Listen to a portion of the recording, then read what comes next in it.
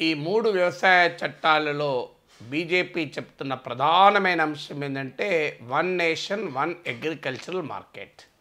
అసలు రైతుకు సంకెళ్ళింది రైతు ఎక్కడైనా అమ్ముకుంటాడు. దేశంలో ఎక్కడైనా అమ్ముకోవడానికి అడ్డంకులు ఏంటి? ఏం రైతుకు మాత్రమే ఎందుకు ఈ సంఖ్యలు? దేశంలో ఎవరు ఎక్కడైనా అమ్ముకుంటున్నారు కదా? ఇది ఇప్పటిదాకా వస్తున్న వాదనలు. ఈ వాదనలను రైతులు అంగీకరించడం తర్వాత సంగతి. నిజంగానే రైతులు ఎంతమంది ఒక దేశ ఒక ఒక రాష్ట్రం నుంచి మరో రాష్ట్రానికి పోయి అమ్ముకుంటున్నారు?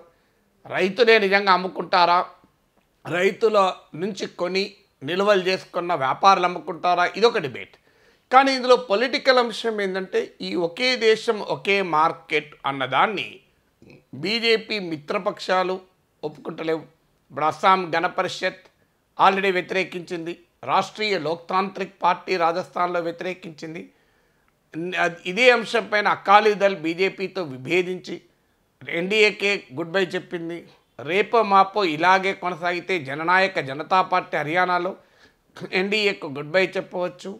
ఈ పరిణామాలు జరుగుతున్న నేపథ్యంలో బీజేపీ ముఖ్యమంత్రి శివరాజ్ సింగ్ చౌహాన్ ఒక ఆసక్తికరమైన వ్యాఖ్య చేశాడు.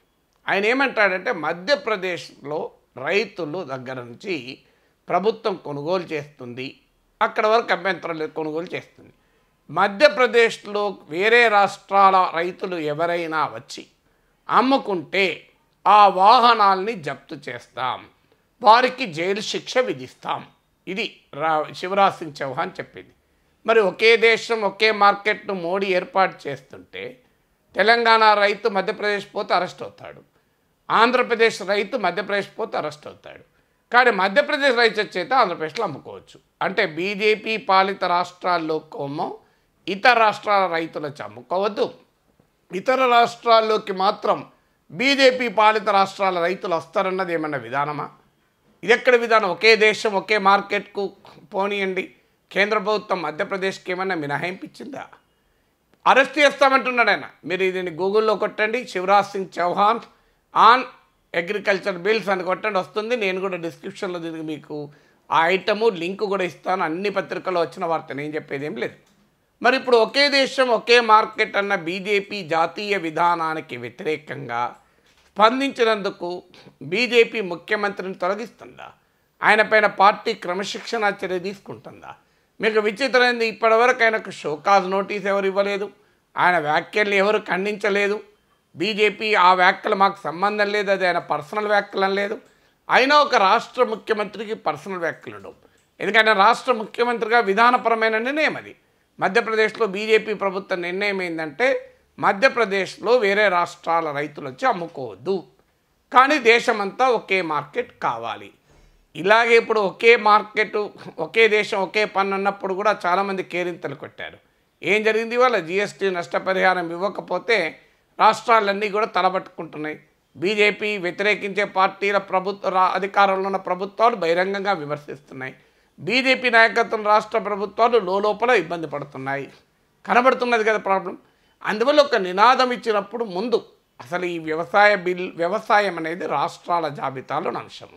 Agriculture is a state subject. దానిపైన కేంద్ర ప్రభుత్వం చట్టం చేసింది. ఆ చట్టం చేసేటప్పుడు ఎక్కడైనా రాష్ట్రాలతో సంప్రదించిందా? రాష్ట్రాల ముఖ్యమంత్రుల సమావేశాన్ని ప్రైమ్ మినిస్టర్ పెట్టాడా? సో రాష్ట్రాల జాబితాలో ఉన్న అంశంపైన రాష్ట్రాల ముఖ్యమంత్రులతో సంప్రదించకుండా కేంద్రం చట్టం చేస్తుంది. పోనీ రైతులతో సంప్రదించారా? ఏదైనా రైతు సంఘాలతో సంప్రదించారా? పోనీ రైతు సంఘాలతో కూడా సంపాదించలేదు. బీజేపీ మిత్రపక్షాలనైనా ఒప్పించారా? ఇప్పుడు అస్సాం గణ పరిషత్ రాష్ట్రీయ లోక్తాంత్రిక్ పార్టీ శిరోమణి అకాలీదల్ బీజేపీ మిత్రపక్షాలతోనైనా మాట్లాడాలి కదా. వాళ్ళతో కూడా మాట్లాడకండి. ఆఖరికి బీజేపీ ముఖ్యమంత్రులను ఒప్పించాలి కదా. బీజేపీ మిత్ర ముఖ్యమంత్రులైనా దీనికి అంగీకారం తెలపాలి కదా. మరి ఎవరితో చర్చించకుండా ఏకపక్షంగా ఎలా వ్యవసాయ చట్టాలు దేశ రైతాంగాన్ని ప్రభావితం చేసి దేశ వ్యవసాయ రంగాన్ని ప్రభావితం చేసే చట్టాల్ని బీజేపీ ముఖ్యమంత్రులు బీజేపీ మిత్రపక్షాలు ఎవరితోనూ రాష్ట్ర ప్రభుత్వాలు వీళ్ళెవ్వరితో సంప్రదించకుండా కేంద్రం ఎలా చట్టాలు చేస్తుంది? మీరు ఆఖరికి వీళ్ళెవ్వరితో సంప్రదించకండి. బీజేపీకి స్ఫూర్తిదాత అయిన ఆర్ఎస్ఎస్తో సంప్రదించండి రా. ఆర్ఎస్ఎస్ అనుబంధ రైతు సంఘం భారతీయ కిసాన్ సంఘ్ ఆర్ఎస్ఎస్ అనుబంధ స్వదేశీ జాగరణ మంచ్ వ్యతిరేకించాయి కదా. మీరు కావాలంటే గూగుల్లో కొట్టండి. ఈ మధ్య మళ్ళీ భారతీయ కిసాన్ సంఘ్ మేము బిల్లుల్ని చట్టాలు రద్దు చేయమని అంటలేము. మార్పులు మాత్రమే చేయాలి అని అంటున్నామని. మా చట్టాలు చేసినాక మార్పులు అడుగుడు కన్నా ముందే వాళ్ళతో మాట్లాడి ఉంటే అయిపోయేది కదా. సో నేను ఏమడుగుతున్నాను మీరు? మీరు మీరు ప్రతిపక్షాలతో మాట్లాడరు రైతులతో మాట్లాడరు మిత్రపక్షాలతో మాట్లాడరు బీజేపీ ముఖ్యమంత్రులతో మాట్లాడరు. చివరకు ఆర్ఎస్ఎస్ అనుబంధ సంఘాలతోనైనా మాట్లాడరు. ఇలా మీరు గూగుల్లో కొట్టండి స్వదేశీ జాగరణ మంచ్ ఆన్ ఫామ్ లాస్ అని. వాళ్ళు తీవ్రంగా వ్యతిరేకించారు. భారతీయ కిసాన్ సంఘ్ స్టేట్మెంట్ ఏంది? ఇది బడా కార్పొరేట్లకు పెద్ద పెద్ద వ్యాపారుల కోసం చేసిన చట్టాలు. ఇది రైతుల కొరకు కాదు మేము రైతుల ఉద్యమాన్ని బలపరుస్తున్నాం. ఇది భారతీయ కిసాన్ సంఘ్ స్టేట్మెంట్. అంటే మరి ఎవరిని సంప్రదించకుండా ఎవరిని సంప్రదించారు? ఐటీసీ ఆదాని అంబానీ పెప్సీ వీళ్ళని సంప్రదించేశారేమో అని అనుమానం కలగకపోతుందా లేదా? ఎవరో ఒకరిని సంప్రదించాలి కదా? చివరకు పార్టీలోనైనా ఎంపీలోనే సంప్రదించాలి కదా? మరి ఎవరిని సంప్రదించకుండా ఎలా చట్టాలు తెస్తారు? ఇవాళ బీజేపీ ముఖ్యమంత్రియే ఒకే దేశం ఒకే మార్కెట్కు వ్యతిరేకం. దీన్ని ఉల్లంఘించి ఉల్లంఘించి ఉల్లంఘించాలని పిలిపిస్తున్నాడు. ఒకే దేశం ఒకే మార్కెట్ను ఫాలో అయితే మా మధ్యప్రదేశ్లో అడుగుపెట్టిన వెంటనే అరెస్ట్ చేస్తామంటాడు. వాహనాలు జప్తు చేస్తామంటాడు రైతులను జైల్లో పెడతామంటున్నాడు. దీనికి ఆన్సర్ ఏం చెప్తుంది భారతీయ జనతా పార్టీ?